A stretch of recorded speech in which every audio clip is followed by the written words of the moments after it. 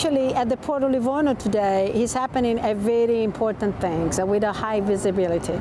And the reason is that uh, for many years uh, we were only supporting uh, FSBN that is uh, co-located at Depot Army in Camp Darby. For the first time after so many years, we will be able to load a train with 48 pieces that is destined to East, North Europe. So we are very happy to prove that uh, we are capable also in Livorno because even though it's a commercial port, we are fortunate that our uh, stevedoring company actually owns a pier and manage a pier that we can use and uh, have vehicles and all the security and, uh, and anything we want just to support the unit that we are serving.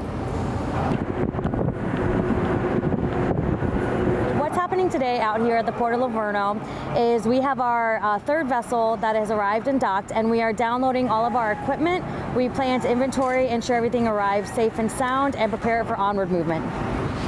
The equipment coming off the ship today is the 3rd Brigade's organic equipment. It includes howitzers, logistical assets, and other warfighting machines um, that we will use uh, throughout training exercises and prepare to respond, you know, if need be. Our experience with the 21st uh, Theater Sustainment Command Movement Control Team has been seamless and effortless. They are a huge asset and have been readily available and knowledgeable to answer any qu questions we have and to assist with whatever we may need.